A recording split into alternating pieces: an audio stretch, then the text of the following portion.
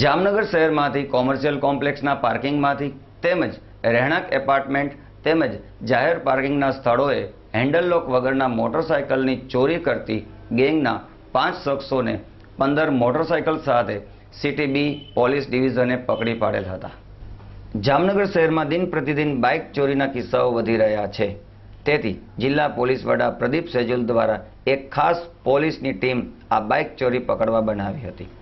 તેમાં પોલીસ વોચમાં હતી ત્યારે સુભાષ બ્રિજ પાસેથી બુલેટ ઉપર બે શખ્સો શંકાસ્પદ જણાતા પોલીસે પૂછપરછ કરેલ હતી, જેમાં મોડાના વિજયસિંહ જાડેજા અને ચંદ્રસિંહ જાડેજા પોલીસની સમક્ષ આ બુલેટ ત્રણ દિવસ પહેલા ટાઉન હોલ પાસેથી ચોરી કરી હોવાનું જણાવ્યું હતું.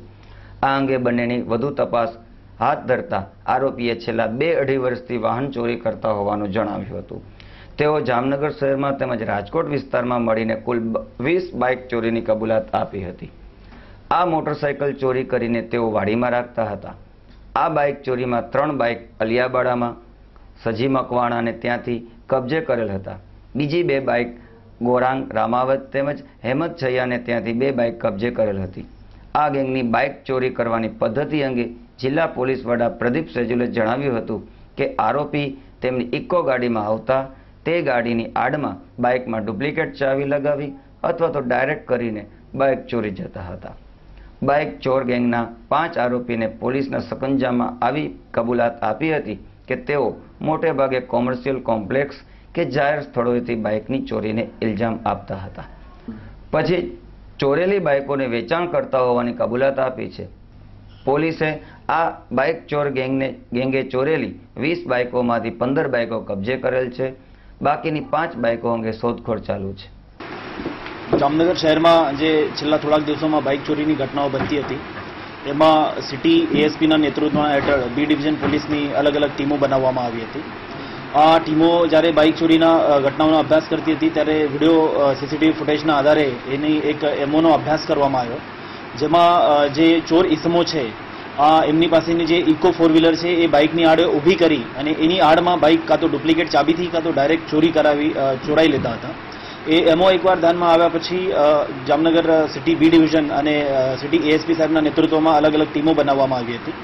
આ તમામ ટીમોએ રાત્રન દિવસ અલગ અલગ જગ્યાએ જે વોચ રાખી હતી અને વોચમાં જે બુલેટ રિસેન્ટલી ચોરાયું હતું, આ બુલેટ લાઈવ પકડાયું છે.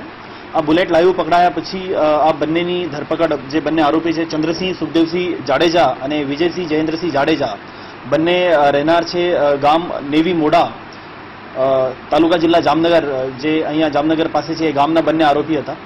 આ બંને આરોપીઓની સઘન પૂછપરછ અલગ અલગ ટીમો બનાવી કરવામાં જ્યારે આવી, ત્યારે લગભગ અત્યાર સુધી વીસ ચોરીઓની આ લોકોએ કબૂલાત આપી છે, જેમાંથી તેર જેવી મોટરસાયકલ અત્યાર સુધી રિકવર કરી લેવામાં આવી છે. આ લોકોની જે ખાસ મોડસ ઓપરેન્ડી છે, એ એવી હતી કે આરોપીઓમાંથી જે ચંદ્રસિંહ સુખદેવસિંહ જાડેજા છે, એમની જે ઇકો ગાડી છે, એ બાઇકની આડ ઊભી કરી દેતા હતા.